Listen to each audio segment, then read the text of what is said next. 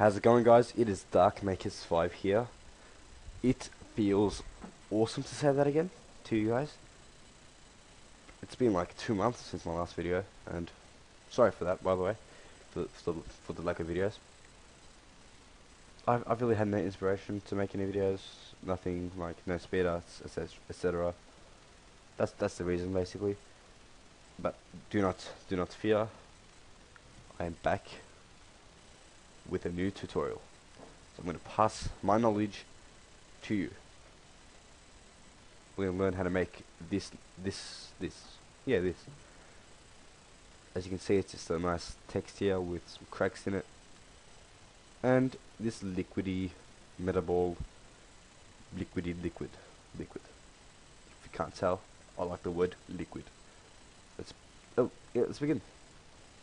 So you're gonna, you wanna have a spline here.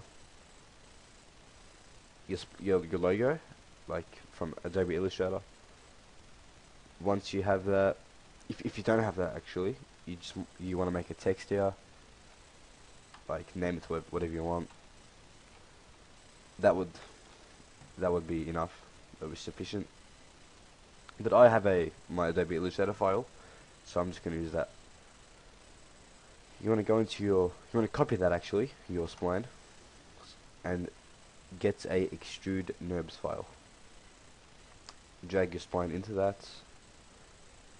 You want to you want you might want to rename it text so it's easy easier to keep track. You're going to bring down 20 to about the last one in movement down to about 10 so it's nice and thin. And the subdivision I don't know 5 I suppose. If you want to add caps, you can. If you don't want to, it's not really needed.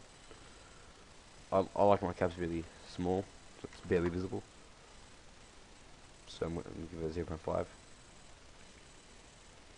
Now what you want to do to your text is go into select your text, go into plugins and Thrausi.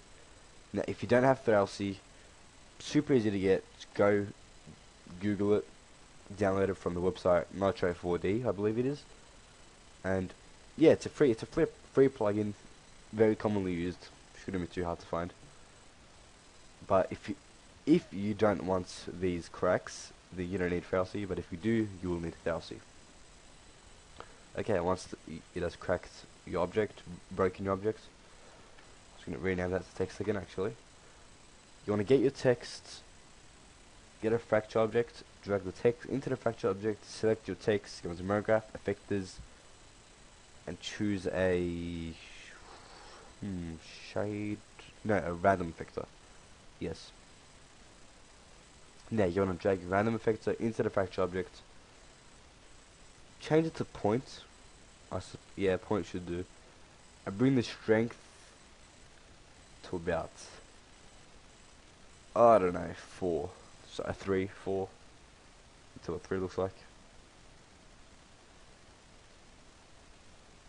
Yep, I'm gonna set three. Now what you want to do is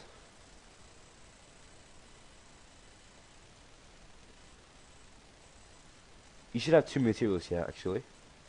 One material cuts inside and cut outside. So you're going to change the cut outside to any color you want actually. I'm just going to go for a, a darkish grey, close to black, and add a Lumas to it in the, effect, in the FX. Change that to uh, uh, object animation, yes. So you, you can choose the cut your color in your shader inside the um, inside the Lumas changes from the specular to lighter. And yeah that's it. That's for the outside. And uh, as for the inside you want to go into color I'm, I'm gonna go for a very light lime green for both luminance and for the color but if you want you can go for a, a, vibrant red or anything you want. I'm just going to go green because, as you can see, in the other text that I previously showed you, which I accidentally closed, it was green. So yeah. After that, after after you have changed the colors, you would want to get started on the the liquidy stuff. So you're gonna select your your spline, go into MoGraph, get a clone object, make a sphere, we bring the dividers to about 5. Gonna drag the sphere underneath your clone object and change it from linear to object.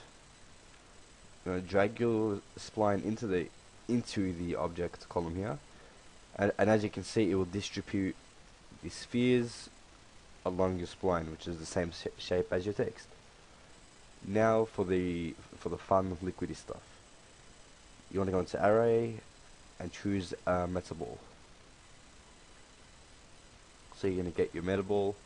You're going to get your clone object and drag it underneath the meta ball. And then what you would want want to do is excuse me change the editor subdivision to about 2 and the render subdivision to about 2 which would give you the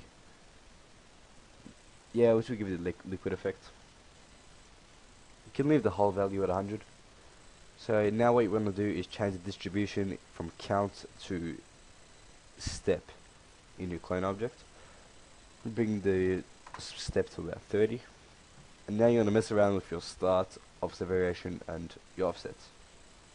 Until you find a good mixture in what you in what you want. It's totally up to you mess around a bit if I get an even distribution. It's a bit, a little bit mm.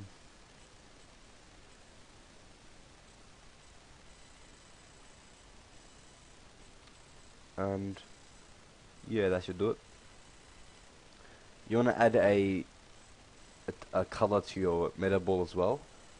What I did what I used was a a lime green same with the cracks I added luminance to it brought it down to about 4 I'll just go 5% and add a reflection for the reflection you want to choose leave the color bring the brightness down to 50 you want to add a Fresnel and bring this mix strength Fresnel's there. And then bring the mix strength down to 50 as well. You know, so pop that onto your metaball. And your object, your text, sorry, should be looking something like uh, this. And as you can see, the desired look is now completed.